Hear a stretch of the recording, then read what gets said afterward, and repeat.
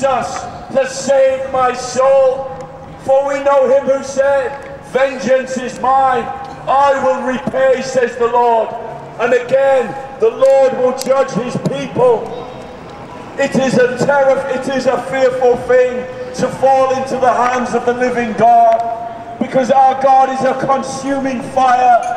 Our God is a consuming fire. The God who made this universe. All we have to do is to take a look up and look up the blue sky, look at the sunset in the sky, and then take a look at one another and say, wait a minute, wait a minute, this didn't happen by chance. There has to be a creator. If there is creation, there has to be a creator. Just look up once in a while and look up to the whole For therein is the righteousness of God revealed from faith to faith. As it is written, the just shall live by faith. You see, without faith, it is impossible to please God. Without faith, you cannot please God. For he who comes to God must believe that he is, and that he is a rewarder of them who do diligently seek him. He is a rewarder of them who do diligently seek him. The Bible says, the Bible says, he who is unjust, let him be unjust still.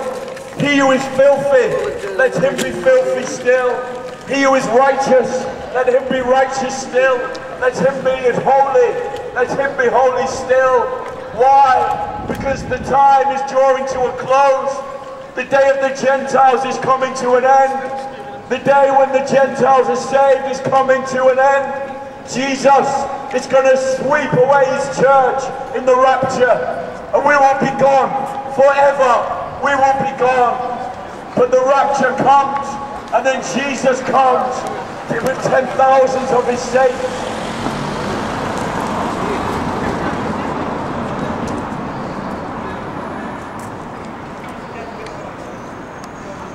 For conversation is in heaven, from whence also we look for the Saviour, the Lord Jesus Christ.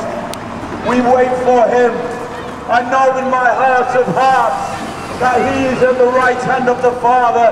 I know deep down in my spirit that he is the living God. And I know that he is coming back soon to judge this world in righteousness. He's coming back soon. Why? Because it is impossible for God to lie. It is impossible for God to lie.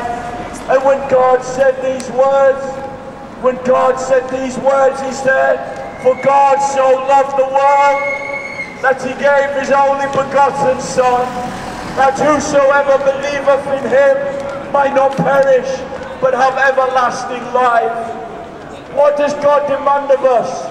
The Jews asked Jesus, what may we do that we may work the works of God? And Jesus said, this is the work of God, that you believe in him whom he has sent. That's it. Believe in Jesus and you will be saved. Believe in who Jesus says he is, not who man says he is, but in who Jesus says he is. And Jesus said, before Abraham was, I am. Jesus said that he is the living God.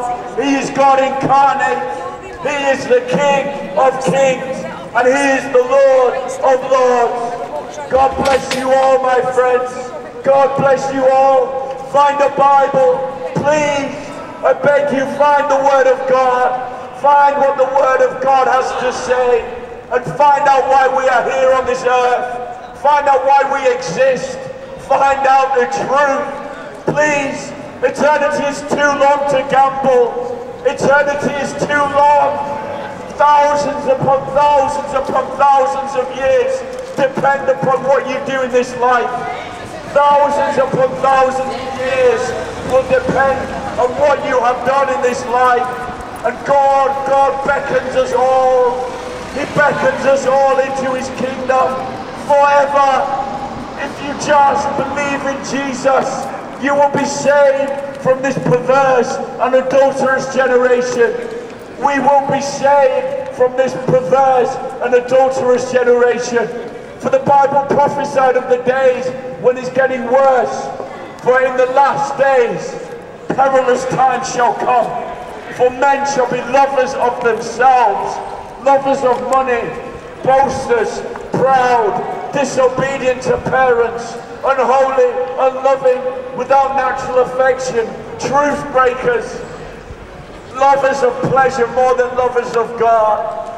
But my friends, today is the day of grace. Today is the day of abundant pardon and abundant mercy. Today is yet the day of grace. Today is the day of mercy and forgiveness and peace with God. We don't realize it, but we all crave for peace with God. We don't realize it, but that's what we need down. Down, we just need peace with Yahweh. Deep down, we just need peace with our Heavenly Father through the Lord Jesus Christ. It is possible. It is possible to have peace with your Creator. Please, please find Jesus before it's too late. God bless you all. Jesus loves every single one of you. Amen.